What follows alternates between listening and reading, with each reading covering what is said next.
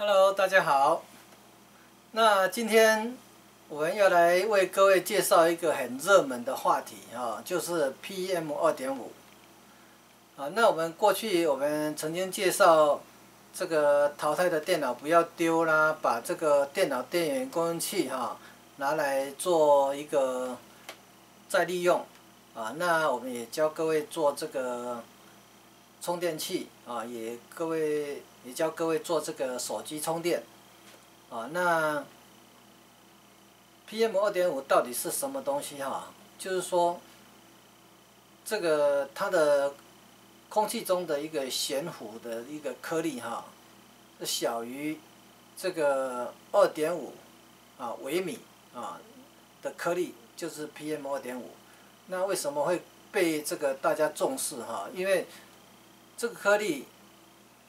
就到这个尺寸的以下哈，就很容易透过你的肺泡啊进入你的血液当中啊，所以它会引起高度的重视哈。啊，因为小于二点五，就等于你的血液哈，就暴露在空，在这个污染的环境当中了，啊，它就可以直接渗透进你的肺泡，然后随着你的血液，将这个污染的这个东西啊带到你的全身，啊，这才是它的严重的地方啊。那因此呢，各个国家哈都有定定定这个 PM 二点五的标准哈。那当然，我们环保局都有规定的哈，都有定定标准的哈。那可以到他们网站去参考啊。那我们今天不是要介绍这个什么标准哈，那我们就是要要教各位哈，如何我们自己来这个 DIY 啊，这个 PM 二点五的检测的一个运用哈。那我手我这边呢啊，这个机器就是我们。一系列的这个淘汰的电脑不要丢哈，那一直做下来的东西哈，那做到最后这个就是一个手机充电的部分哈，那我们就利用这个这个 USB 的插孔哈，来配合我们这个 PM 二点五的这个哈小小的这个这个啊检测仪哈，来做一个 PM 二点五的检测哈，啊，好，那我们首先把这个电源供应器打开了，啊，然后我们把这个插上去，好，一插上去它就亮了。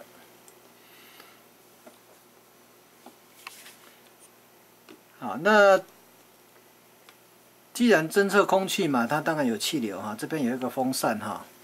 啊，它就这个一个风扇这个造成一个气流哈，它可以侦测空气里面的悬浮颗粒的。一个含量哈，啊里边它有一个镭射光的一个系统哈。那各位可以看到哈，我们目前的的悬浮颗粒的一个重量哈，啊重量就是四微克啊，就是一一个立方公尺里面有四个微克的这个颗粒啊啊，当然这个重量是越低越好啊啊，那一般。你如果说在十五个微克之下，都是算是相当优良的哈。那当然每一个国家有它的标准了哈。啊，那至于标准怎么样，各位可以上网 Google 一下就知道了哈。那那我们只今天只针对我们这个这个检测器哈，我们来做个介绍而已啊。啊，原则上这个它有三个灯号哈，目前是亮蓝灯啦，蓝灯是在零到五十它都亮蓝灯，所以在这个范围之内大致上是可以接受的哈。那它如果是五十到一百五，它就变成绿灯了啊，那绿灯就是有点中度污染的啊。那超过一百五十维克的话，它变红灯了啊，那就是严重污染的。啊，那这个就是至少我们可以作为一个基本的一个检测参考哈。你如果说花说当天的空气哈，这个比较糟的话，你就可以自己做一个应变吧，啊，戴个 PM 二点五防护的用的口罩啊，再出门啊，或是说你也可以来侦测你家里的一个环境哈。其实。因为这个包括抽烟啊、烧香，还有这个呃烤肉啊、炒菜啊，都会有 PM 二点五的产生的这个问题哈，所以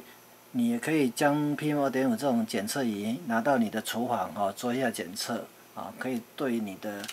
环境哈做一个改善。